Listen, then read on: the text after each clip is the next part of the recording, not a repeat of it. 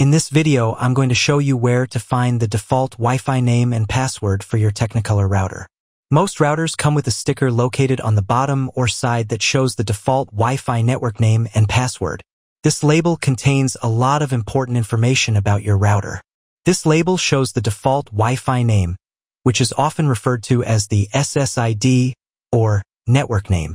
The password or network key can be located either beside it or underneath it. This is the pre-configured default Wi-Fi password. If a network name is visible and doesn't necessitate a password, it suggests that the network lacks security. To improve your security by altering these credentials, check out my other video. The link to the video can be found in the description below.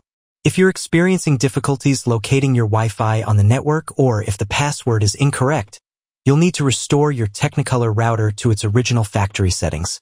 Detailed instructions can be found in a video linked in the description below. If you found this video useful, please give it a like and share your opinions in the comments.